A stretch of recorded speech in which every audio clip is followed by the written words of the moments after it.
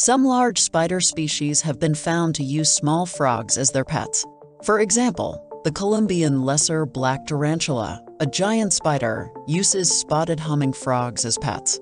Here, the spiders protect the frog from predators and instead protect the eggs of the frog spider from insects receives.